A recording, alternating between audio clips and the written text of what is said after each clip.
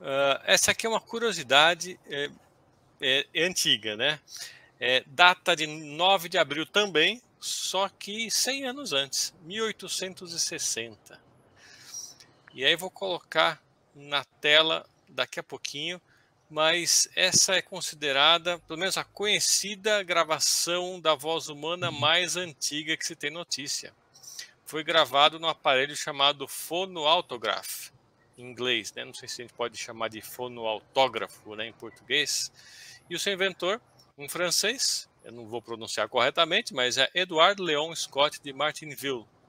Ele fez uma gravação da sua própria voz cantando um trechinho da música Au clair de la lune, de mais ou menos 20 segundos, e ela foi ah, recentemente recuperada e acredita-se que realmente hoje seja a gravação da voz humana mais antiga é, que a gente tem aí disponível.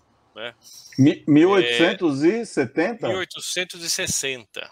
E 60.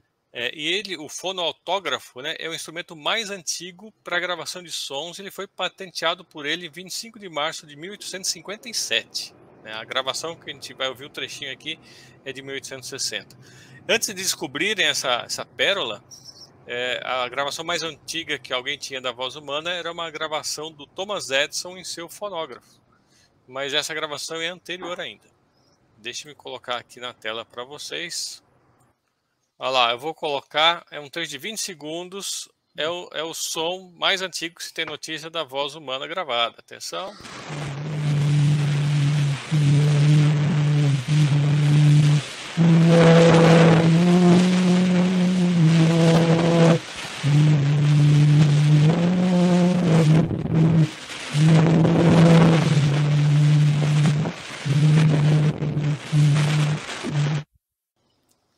Isso que vocês viram aí, ouviram, né? Foi essa gravação. Claro, não dá para entender praticamente nada, né? Mas dá para entender que é o som de alguém murmurando alguma canção. Né? Então essa é, é, canção aí foi gravada aí pelo inventor do fonoautograph.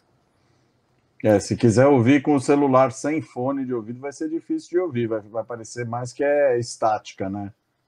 É, Tem que ouvir com fone para ouvir direitinho.